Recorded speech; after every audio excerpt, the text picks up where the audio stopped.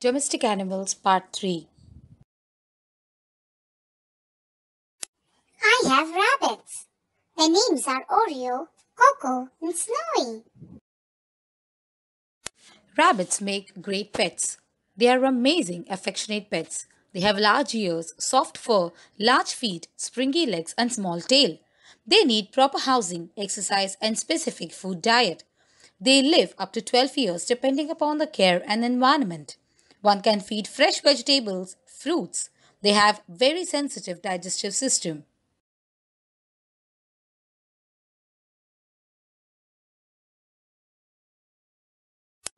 I have a hamster. His name is Cookie. Hamsters make excellent pets for some people. They don't require a lot of attention, but they need to get enough exercise like running over wheel. They are very pleasant to hold. They have thick silky fur, short tails, small ears and short legs, white feet and large eyes. They are colorblind. They cannot see colors except black and white. Hamsters love carrots, apples and other fruits and vegetables. One must never give sugar to them. I have a parrot. Name is Mittu. Parrots are great pets for their owners.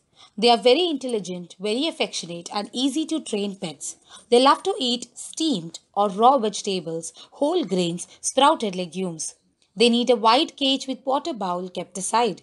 Parrots require lot of attention from their owners. They love to imitate the owners and try to learn the noises once taught.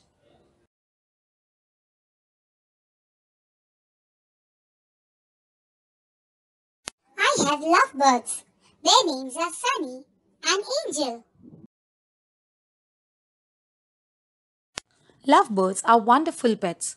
They are extremely affectionate, curious, energetic, and charming birds. They require play gem and toys.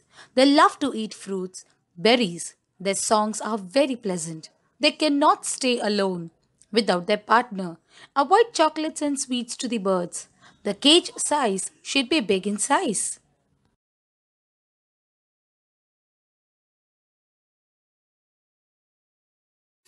Great students. You all take care of your pets so well. I'm proud of you all.